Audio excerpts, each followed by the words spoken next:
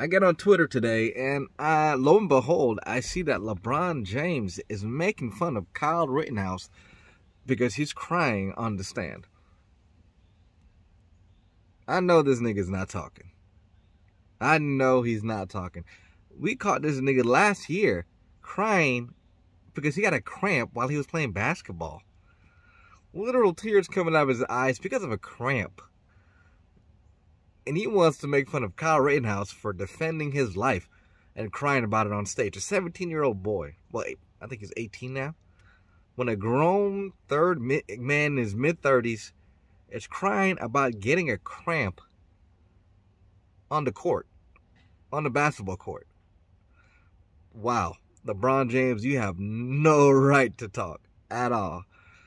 And why do you always keep picking the wrong sides of every issue? From the BLM issue to the police shooting issue to to even this Kyle Rittenhouse issue. You're taking the side of of the victim of of of child rapists? Really?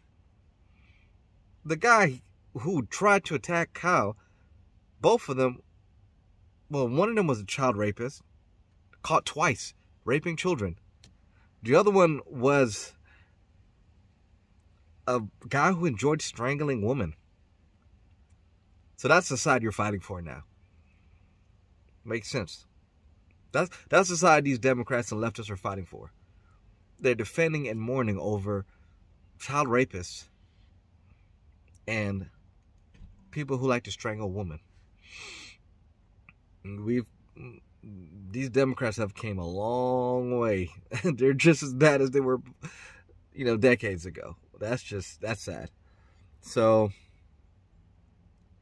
LeBron, learn how to choose your battles better. Because it's just getting sad at this point. Talk to you guys later.